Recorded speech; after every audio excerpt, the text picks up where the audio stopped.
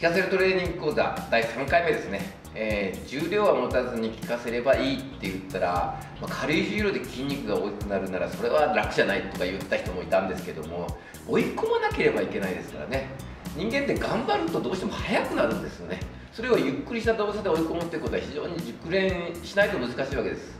えー、聞かせるトレーニングって簡単に言ってもなかなかできないですよね。えー、初心者の方が聞かせてくださいって言ってもなかなか聞かないから、えー、聞かせ方を熟練していく方向に努力をしなければいけないわけですね。高重量トレーニングというのは高重量を上げる方向に努力していくわけですね。だから努力する方向が若干違ってきます。まあ、そういう意味でもジムで重たいの持ったら偉いねとかもしくは重たいの持って自慢する人がいたらなかなか難しいんですよね。私もパワーリフティングとかやってましたから例えばまあスクワット180ぐらい持ってすごいだろうって言ってあなたも持ちなさいっていうのは簡単なんですけどもそういうのはメンバーさんの体の発達の速度は落ちますし継続すらあの難しくなりますよね。気持ちいいのは重たいの持って自慢するぐらいなもんで、